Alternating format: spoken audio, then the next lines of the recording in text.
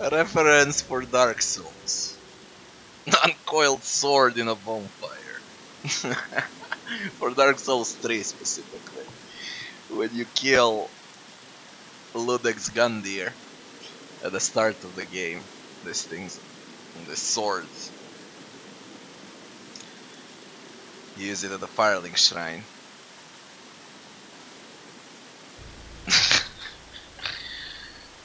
Fucking idiots. Dark Souls 3 reference here.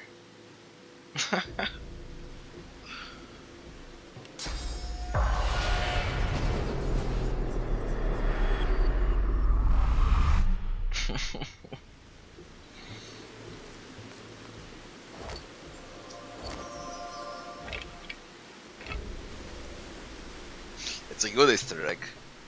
Is. Actually, Have you noticed this in your playthrough, Miasma?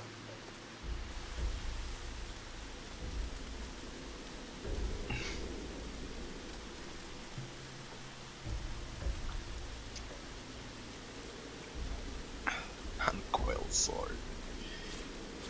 I got. Is that it? it's definitely for Dark Souls.